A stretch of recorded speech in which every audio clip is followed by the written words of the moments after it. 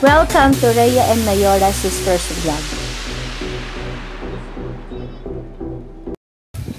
Hello guys, pupunta tayo ngayon sa Barangay Bagbagin sa 3S para tignan natin yung pagpapamigay ng Christmas giveaways ngayon doon.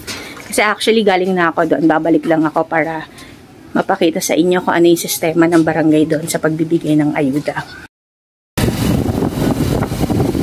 Ayan, nadadaanan na namin yung mga galing sa barangay na kumuha ng bigas. Halos lahat ng naglalakad, makikita mo may bitbit na sako ng bigas. Marami din yung kumuha kasi sabay din ng senior citizen tsaka mga regular citizen dito na binigyan ng bigas. Sa isang bahay, basta't merong isang botante, binibigyan nila plus senior citizen, meron din na uh, bigas sa isang bahay. Kunyari, may senior ka sa isang bahay, plus meron din isang regular botante bibigyan sa loob ng bahay. Sisilipin lang natin kung ano yung nangyayari sa loob. Ayan, dito pa lang sa bungad may nagga-guide na kung saan daan, kung saan papasok para hindi sabay-sabay yung pasok at hindi magkabol-bol dito sa daan. Kasi ito rin yung daan ng ito rin yung daan ng Amatoda dito. So, dito sumas dito yung daan ng mga terminal ng tricycle. Ayan si Kuya. Alam mo, hinahanap yan si kuya, siya yung nag-guide dito para maging maayos yung pagpasok sa loob.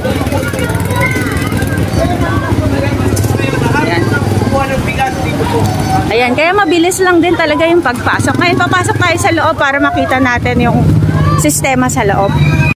Basta nakita ka nila dito, tatanungin ka nila agad kung kukuha ka ng bigas, kaya hindi ka naman talaga mahihiyang magtanong sa kanila. Ayan, as in pagpasok lang, labas agad, wala pang minuto. Pwede po kay mami? Tapos na po ko yan. So, kakapasok lang din nila, biglang labas. Wala pang isang minuto, naglalabasan na sila agad. Sobrang bilis talaga ng sistema ngayon dito sa Barangay Ibagbagi. Ayan. Sobrang accommodated na ng mga officials dito. Well, welcome lahat ng papasok na may dala ng mga dalang voucher. Pila dito sa loob. Pagdating mo, labas agad. Kaya kahit marami silang binigyan ng voucher, siguradong hindi naman talaga tatambakan ng pila sa loob. Kahit nga ang ating butihing kapitana, hindi mo makikita na nakarelax. Sobrang busy rin niya sa pamimigay. Nakita niyo naman, may bitbit pa siyang sako. Siya din talaga mismo yung nag-aasikaso dito.